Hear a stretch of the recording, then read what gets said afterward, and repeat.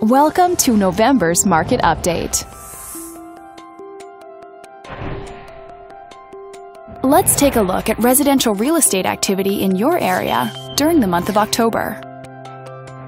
The number of active listings was down 29% from one year earlier and down 18% from the previous month.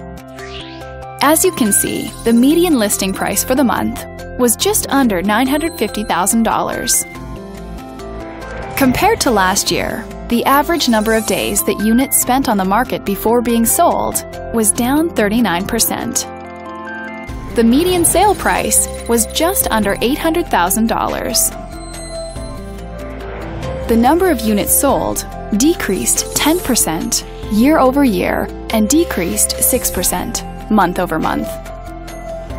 Thanks for watching. We hope you use this information to make smart, informed decisions in your upcoming real estate transactions. Feel free to contact us for more information or further assistance.